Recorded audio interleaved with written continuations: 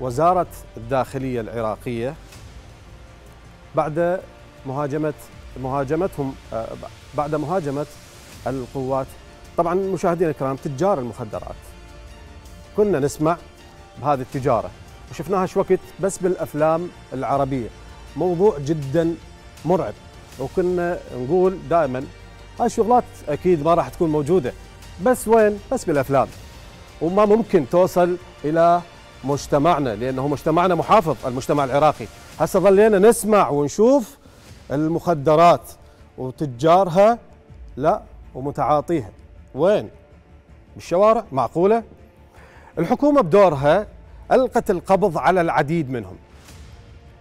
وأتلفت كميات جدا كبيرة من المخدرات. لكن آه كل ما تزداد هذه الآفة آه بصراحة قواتنا راح يكونون بالمرصاد وإضافة إلى ذلك اليوم الإنسان بداخله إرادة وعزيمة حتى يتغلب على هذه الآفة والمروجين إلى هذه الآفة.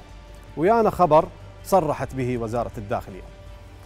بعد مهاجمة القوات الأمنية بعد مهاجمتهم القوات الأمنية برمانات يدوية قوة من قيادة شرطة المثنى تلقي القبض على مطلوب للقضاء صادر بحقه حكم مؤبد وآخر بالسجن 15 سنة وعشرات أوامر القبض.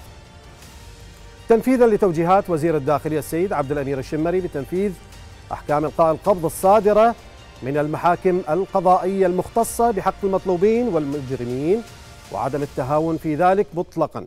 تمكنت مفارز من قيادة شرطة المثنى من إلقاء القبض على أحد المطلوبين للقضاء. يعني آه نشوف أيضا تكملة هذا الخبر الصورة الأخرى خلينا نشوفها. وأيضا آه وأوضحت قيادة شرطة المثنى أن المطلوب صادر بحق حكم قضائي بالسجن المؤبد وحكم آخر بالسجن 15 سنة. كونه أحد تجار المخدرات صادر بحق أكثر من 50 أمر قبض وفق أحكام المادة 28 مخدرات. مثل ما شفتوا هذه الأحكام كلها صادرة بحق تاجر للمخدرات. عجيب. صراحة اليوم إحنا تجار المخدرات يكونون موجودين لا وعراقيين. يعني إحنا متعارف عليها. العراقي ما تهز هاي الأمور والتفاصيل اللي هي باتت أن تكون موجودة بدول عربية. للأسف موجودة. اليوم إحنا مثل ما تشوفون آفة المخدرات وإدمان المخدرات.